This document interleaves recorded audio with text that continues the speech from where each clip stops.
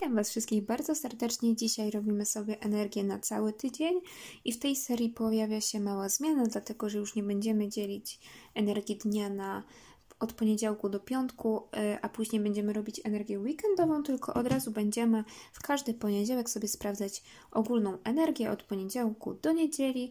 Później będziecie mogli właśnie wybrać jeden z e, kamieni, który tam widzicie, i to będą Wasze przesłania na ten tydzień. E, I będą to przesłania anielskie plus przesłania anielskie miłosne. Więc co, już zaczynamy od energii poniedziałkowej i patrzymy, co będzie dziać się w poniedziałek. Ok. W poniedziałek mamy energię głupca w pozycji odwróconej. Um, oznacza to, że w poniedziałek będziemy bardziej i rozsądnie podchodzić do wszystkich spraw, które pojawią się na naszej drodze. Energia głupca e, w położeniu odwróconym mówi o większej dojrzałości i też o większym zrozumieniu i większej chęci poświęcenia czasu na coś, niż podejmowaniu jakichś pochopnych decyzji. To może też być moment, w którym dostaniemy e, być może jakieś propozycje i normalnie byśmy się zgodzili od razu, natomiast w poniedziałek jesteśmy w takiej energii, w której wolimy coś przemyśleć, wolimy na spokojnie do czegoś podejść, e, też nie kierujemy się impulsywnością, ale wykazujemy też dużą cierpliwością, zrozumieniem i dojrzałością. Więc to przede wszystkim. E, I patrzymy już, co jeszcze jest na wtorek, jaka energia. Na wtorek mamy przepiękną energię, bo mamy kartę maga, więc znowu zaczynamy wielkimi arkanami ten tydzień. Jeżeli chodzi o energię maga, to jest energia bardzo silna, w której potrafimy manifestować różne rzeczy w naszym życiu. To może być bardzo pomyślny dzień, jeżeli sobie coś zaplanowaliśmy, wszystko może iść według naszych planów. Wszystko właśnie może iść według e, naszych planów, tak jak sobie postanowiliśmy.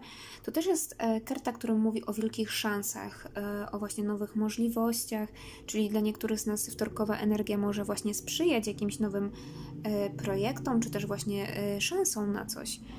Karta maga jest ogólnie bardzo silną e, kartą. Od niej tak naprawdę wychodzi cała energia, czyli my we wtorek decydujemy o tym, E, co się dzieje, tak? I możemy zmanifestować też piękne rzeczy w swoim życiu, e, więc to, co sobie postanowimy na ten dzień, czy też na najbliższy okres czasu, powinno się właśnie spełnić, bo karta maga jest bardzo silną kartą, optymistyczną, wielkiej mocy i to od nas wszystko zależy, jak ten dzień się jakby potoczy, ale w nas jest ogólnie wielka siła i też jeżeli mogą, e, jeżeli u kogoś z Was pojawią się drobne jakieś problemy lub ogólnie problemy w ten dzień, to po prostu sobie świetnie z nimi poradzicie, bo karta maga to jest karta, w której radzimy sobie świetnie z problemami, nie boimy się tego, co stanie nam na drodze, tylko po prostu działamy z dużą siłą, optymizmem i ruszamy po prostu naprzód. Jeżeli chodzi o energię na środę, mamy kartę czterech mieczy. Więc w środę możemy tutaj troszeczkę sobie poodpoczywać. Czekajcie, bo ostrość. To jest karta, w której e, powstrzymujemy się od podjęcia jakichś konkretnych działań i wolimy przeczekać i przemyśleć nasze dalsze kroki. Czyli jeżeli e, tutaj w środę mm, coś będzie się dziać, jakieś również decyzje do podjęcia, e, jakieś kroki, wolimy podejść do wszystkiego z rozsądkiem większym i na spokojnie. I możemy też dla niektórych z Was powstrzymywać się przed jakimiś konkretnymi decyzjami. Jeżeli na przykład macie się z kimś spotkać, to tak nie jesteście pewni, czy na pewno w ten dzień. To jest ogólnie energia taka niepewności i chęcia jakby wycofania się i um, słuchania głosu intuicji, tego co podpowiada nam e, również serce, ale takie troszeczkę wycofanie się od ludzi.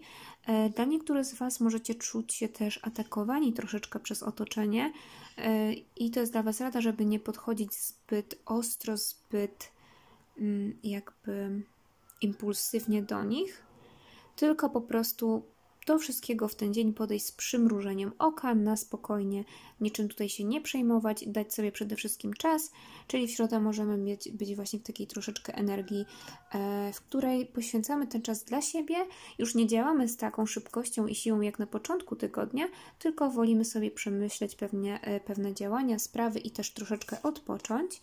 Jeżeli chodzi o energię czwartku mamy kartę sprawiedliwości odwróconej. I w ten dzień możemy na przykład poczuć się niesprawiedliwie e, ocenieni w jakiś sposób. Niektórzy z nas mogą czuć się troszeczkę mniej pewni siebie. To jest ogólnie energia, w której możemy czuć się też atakowani przez inne osoby, owszem, ale przede wszystkim właśnie szukamy tej sprawiedliwości, bo czujemy się niesprawiedliwie z czymś ocenieni. To jest ogólnie karta, która nie sprzyja jakby rozwiązywaniu konfliktów. Tutaj właśnie konflikty mogą się mnożyć. Dlatego, że tutaj nie będzie jakby szczerości i e, nie będzie po prostu w tym dniu szczerości i to może się odbić na zasadzie, że gdy macie z jakąś osobą, e, rozmawiacie nawet, czy cokolwiek, to właśnie ta rozmowa może być troszeczkę utrudniona, troszeczkę taka Mm, no właśnie w takim nieciekawym troszeczkę kierunku. To jest ogólnie energia, która mówi o takim e, braku zrozumienia. O, tego słowa mi brakowało. Braku zrozumienia, braku też chęci zrozumienia drugiej osoby. E, czyli tutaj w czwartek może być sytuacja troszeczkę napięta i możemy szukać, wiecie, e, dziury w całym, ale ogólnie jest to czas dobry na przeczekanie pewnych sytuacji i poczekanie na rozwinięcie ich. Jeżeli chodzi o energię piątkową, mamy kartę pięciu mieczy. I właśnie, gdy przeczekamy, gdy poczekamy w piątek, wracamy już do normalności, czyli ze swoją siłą, z pełnym optymizmem i też z chęcią walki o swoje. To jest przepiękna energia, która mówi o tym, że e, w konfrontacji z innymi osobami, jeżeli o coś długo walczyliście, w końcu Wam się to udaje, to jest dzień, który jest zdecydowanie po Waszej stronie i energia jest po Waszej stronie, więc możecie piękne rzeczy tutaj stworzyć. I tak jak mówię, jeżeli coś do tej pory, w szczególności cztery miecze i odwrócona sprawiedliwość, jeżeli coś w ostatnich dniach się działo nie w ten sposób, jak miało, to w piątek znajdujecie właśnie rozwiązanie tego, lub po prostu Wy z nową energią, z nową siłą wchodzicie w weekend, więc bardzo pozytywnie moim zdaniem. E, to jest też karta chęci wyjaśnienia pewnych kwestii i sporów. Na przykład, tak jak na przykład w czwartek. Pewne osoby mogą e, unikać rozmów z nami i konfrontacji. Tak właśnie w piątek my nie dajemy jakby komuś e, odejść bez odpowiedzi, tylko po prostu chcemy tej konfrontacji i się nie boimy też skonfrontować z kimś. Jeżeli chodzi o energię na sobotę, mamy energię pięciu kielichów. To jest troszeczkę energia wracania do przeszłości, do energii z przeszłości. To nie tylko zawsze jest smutna energia. Moim zdaniem to też jest energia, w której po prostu wracamy do jakichś wydarzeń w naszym życiu, które się zadziały i mogą to być również pozytywne myśli. Po prostu sobie wracamy wspomnieniami, przypominamy, jak kiedyś było, lub mogą się pojawić w naszym życiu takie sytuacje, które przypominają nam już jakieś wydarzenia z naszego życia. Dla niektórych z Was to może być właśnie, że ktoś, z kim bardzo długo nie mieliście kontaktu, w końcu do Was się odzywa. Dla niektórych z Was to jest też karta rady, żeby zobaczyć, kogo macie dookoła siebie i żeby nie przejmować się za bardzo osobą, y, o którą zabiegacie, a na przykład nie jest w Waszym dostępie, w sensie unika jakiejś, jakiegoś kontaktu, wyjaśnień czy czegokolwiek. Jeżeli ktoś tutaj jakby nie stara się o Waszą znajomość, o Waszą uwagę, to zamiast poświęcać to komuś, e, kto na to nie zwraca uwagi, powinniśmy się skupić na osobach, które mamy w otoczeniu i również mogą nam, nas potrzebować lub po prostu chcą nam pomóc jakąś cenną swoją radą. Więc to też dla niektórych z Was, bierzcie to, co rezonuje. I energia dnia na niedzielę to jest karta dziewięciu kielichów, czyli e, bardzo fajna energia, w której czujemy się bardzo dobrze sami ze sobą, w której cieszymy się dniem, w której cieszymy się życiem. To są też spotkania towarzyskie, e, właśnie w bardzo fajnym gronie, dobra komunikacja z innymi ludźmi, porozumienia, pogodzenia, ogólnie wszystko to, co najpozytywniejsze w kontaktach międzyludzkich, jak i również emocjonalnych, czyli też. Um, Będziemy po prostu y, czuć się bardzo dobrze sami ze sobą. To jest energia, w której będziemy właśnie korzystać z dnia, śmiać się, cieszyć. Y, podejdziemy też z lekkością do tej energii i niedzielę spędzimy w bardzo fajnym gronie, dla niektórych z nas właśnie też w rodzinnym gronie. E, to są naprawdę świetne kontakty, tak jak mówiłam, e, jak i również właśnie duża pewność siebie i szczęście i cieszenie się z tych najprostszych, najmniejszych rzeczy. Więc ten tydzień zapowiada się naprawdę fajnie moim zdaniem. Nie ma co się przejmować tymi energiami czterech mieczy, bo tutaj raczej nic złego się nie wydarzy. To jest tylko energia, w której wolimy troszeczkę sobie odpocząć, przemyśleć, e, wolimy się troszeczkę wyciszyć. Energia odwróconej sprawiedliwości sprawiedliwości to też jest energia, w której my nie chcemy jakby ludziom e, czegoś tłumaczyć, więc to też na takiej zasadzie że po prostu wolimy jakieś sprawy pewne przemilczać, że wolimy właśnie e, unikać jakiejś konfrontacji z innymi ludźmi, wolimy zająć się swoimi sprawami i e, odłożyć coś na później. W piątek wstajemy właśnie z fajną bardzo energią i ta energia do nas wraca bardzo pozytywna.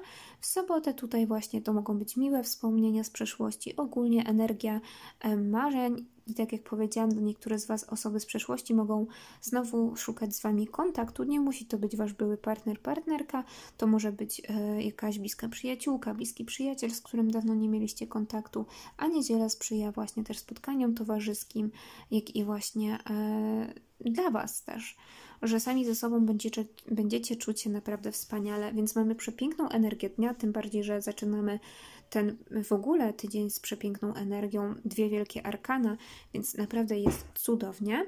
I już będziemy przechodzić do Waszych anielskich przesłań, więc macie chwilkę, żeby wybrać odpowiedni kamień. Kamień numer jeden to cytryn, kamień numer dwa ametyst i kamień numer trzy awenturyn. Ja idę po karty i zaraz do Was wracam.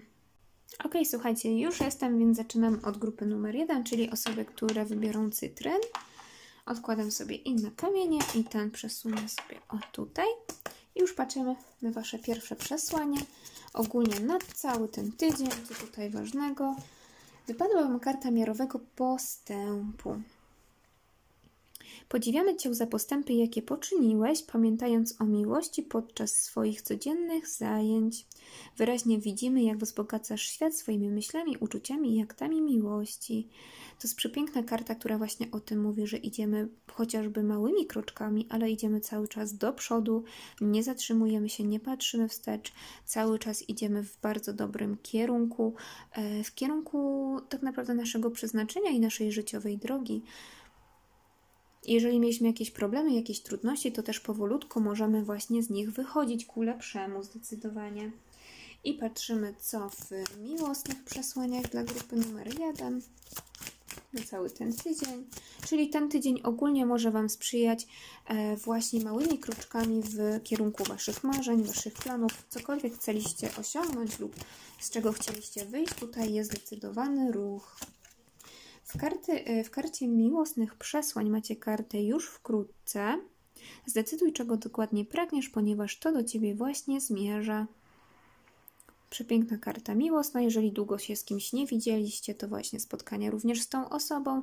Jeżeli czekacie na miłość, to również ta miłość może niedługo w Waszym życiu się pojawić przez e, też postępy, jakie robicie. I rada na ten tydzień anielska. Karta świadomości. Wygląda o w ten sposób. I karta świadomości umacnia świadomość chwili obecnej. Sens życia, który poszukujesz, tkwi w teraźniejszości. Przepiękna karta. Więc to są, słuchajcie, Wasze przesłania. Na ten tydzień możecie je interpretować i brać do siebie tak, jak po prostu czujecie. Tutaj niech Wasza intuicja Was jak najbardziej poprowadzi. Ja się z Wami żegnam, życzę Wam przepięknego całego tygodnia, wszystkiego co najpiękniejsze i przechodzę już do grupy numer dwa.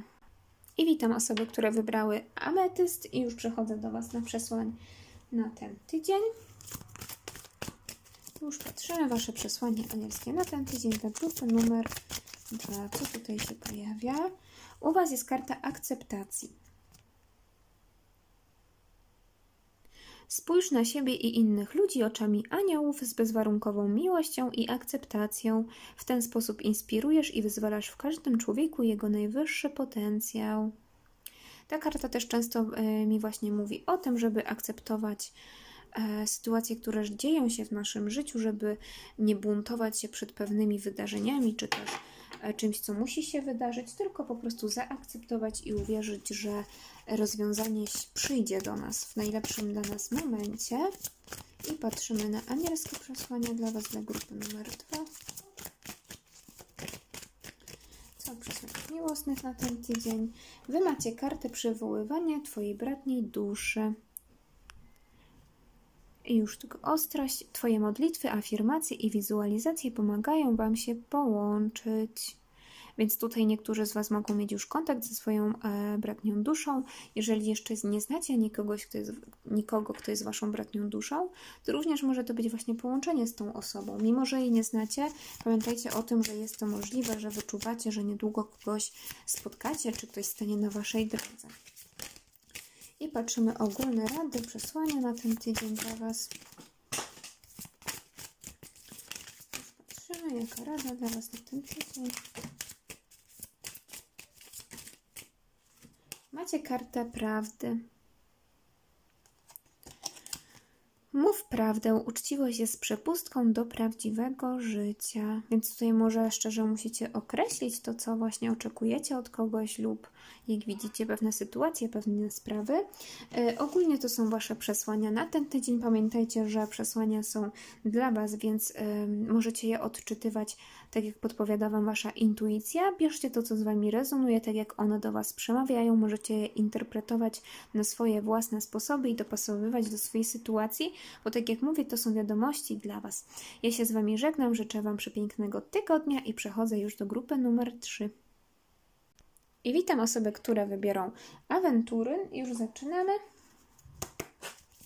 I patrzymy, co dla Was na ten tydzień, jakie przesłanka dla grupy numer 3.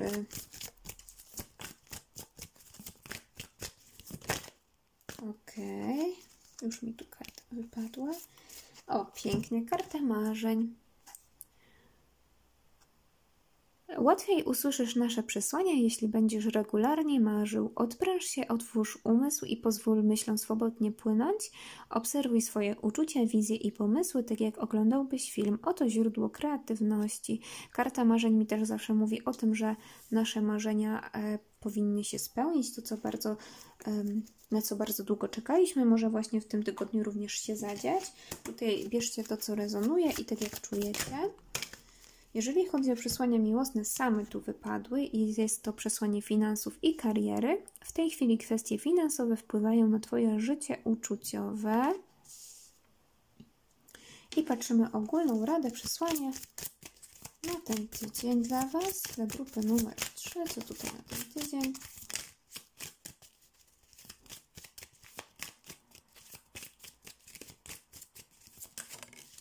Ok, macie kartę odpoczynku. Odpocznij i zrelaksuj się, przestań czuć się winny i uczyń własne potrzeby sprawą priorytetową. Tak jak mówiłam, y, czytania i przesłania są specjalnie dla Was, więc bierzcie to, co z Wami rezonuje. Możecie je interpretować typowo pod siebie, tak jak je czujecie, to Wam mają coś one przekazywać i do Was mówić. Więc ja Wam życzę wszystkiego co najpiękniejsze, pięknego, udanego tygodnia. Dziękuję, że jesteście, że też e, oglądacie i pamiętajcie o tym, żeby zostawić subskrypcję, bo patrząc ostatnio właśnie na statystyki kanału, ponad 30, słuchajcie, tysięcy osób, które oglądają moje filmy, nie są subskrybentami mojego kanału, a regularnie właśnie e, przychodzą oglądać filmy, więc gorąco Was do tego zachęcam. To jest opcja bezpłatna, a tym samym będziecie dostawać powiadomienia o kolejnych moich filmach i niczego nie przeoczycie. Ja się z Wami żegnam, do zobaczenia w kolejnych filmach, no i papa.